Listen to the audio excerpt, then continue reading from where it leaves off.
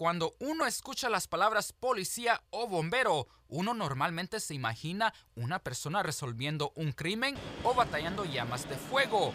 En esta ocasión,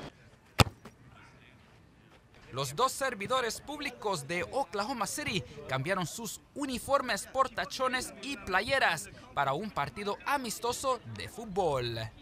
El bombero Corey Britt destacó que es una rivalidad sana, ya que al final están recaudando fondos para organizaciones sin fines de lucro.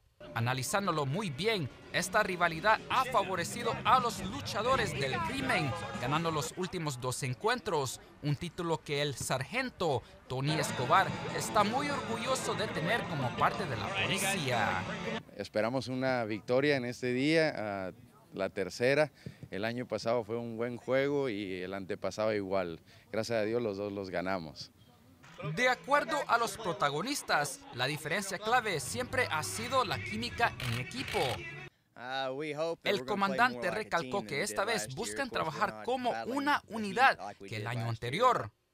Ah, hemos puesto ah, muchas horas de práctica jugando juntos, sea fuera, adentro, en, ah, diferentes equipos, pero hemos podido comunicarnos y, trabajar bien juntos y esperamos un buen juego con los bomberos este año. Después de escuchar el primer silbatazo, ambas escuadras buscaron el ataque ideal para llevarse la corona como el mejor servidor público.